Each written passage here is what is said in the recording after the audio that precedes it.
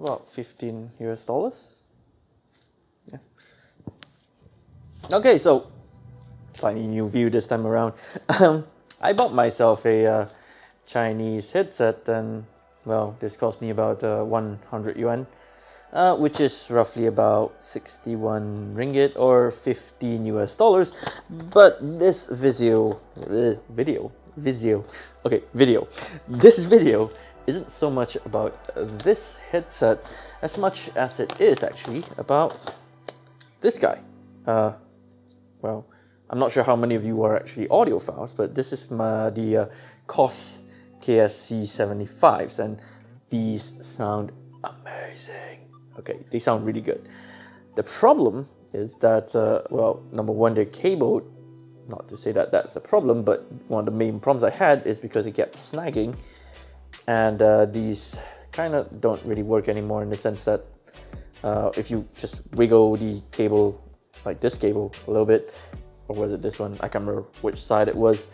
The audio would keep cutting out. So, well, I, I thought to myself, what if I desoldered these bits and spliced it together with this and made myself a truly wireless sports headset from Koss using the Koss 75s, well, KSC 75s yeah, I think that would be pretty interesting. So that is the project for today.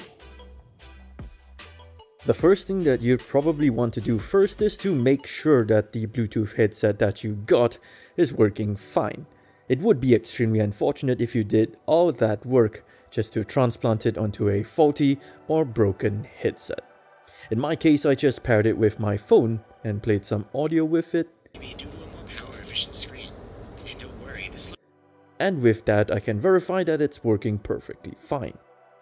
Now that that is tested, let's prepare the KSC75s for desoldering.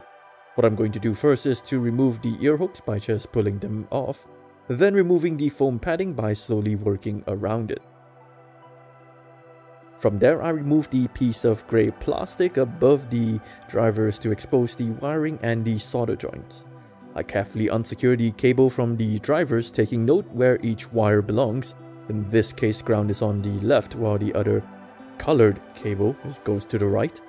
Then to start my soldering process, I put on some soldering flux onto both the solder joints. This is to ensure that I don't heat it up more than necessary.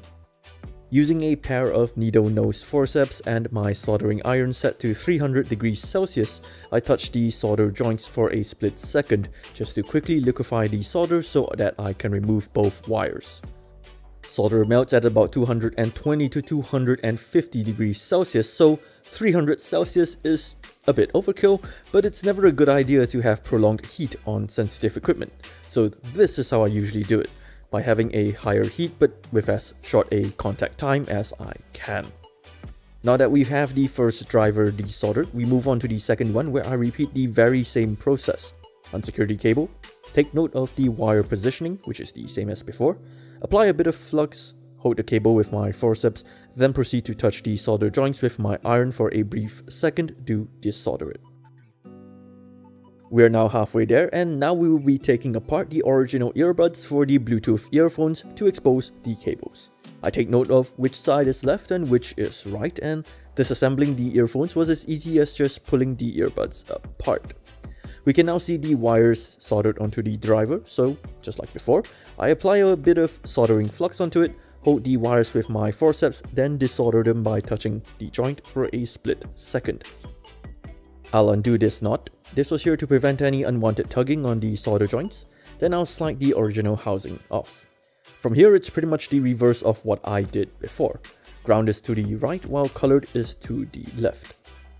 As usual, a bit of flux on both the drivers and the wires, and I'll start by soldering back the colored cable. Again, just a touch for a split second, as that's all it needs, and we'll repeat the process for the ground wire. Wrap the new cable back around, this prevents any tugging to happen on our new joint, and we're done with this side, so we'll do exactly the same on the other. Moment of truth before I put it back together, I like to pair it with my phone first and blast the music just as reassurance that I didn't mess up in the process.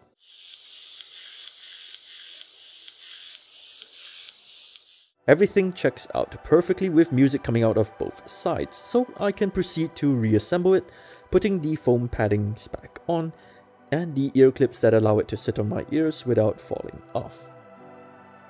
And just as a little follow up on this project, the Bluetooth headset that I got uh, kicked the bucket.